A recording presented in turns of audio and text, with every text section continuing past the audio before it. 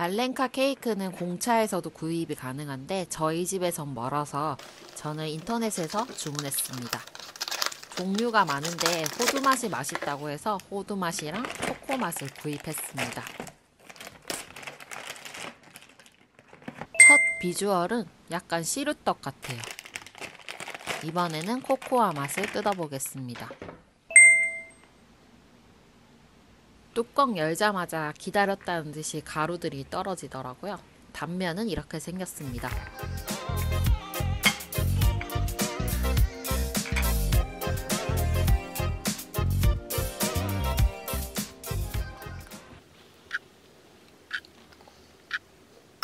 제가 기대를 너무 많이 해서 그런지 첫 맛은 음 했는데 계속 먹으면 먹을수록 맛있더라고요. 정말 식감이 빵과 떡 그 중간의 식감이에요.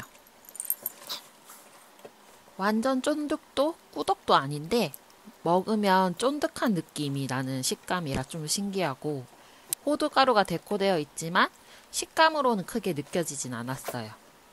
먹고 나면 호두 맛이 생각이 많이 나더라고요. 그래서 재주문한다면 호두 맛을 주문할 것 같아요.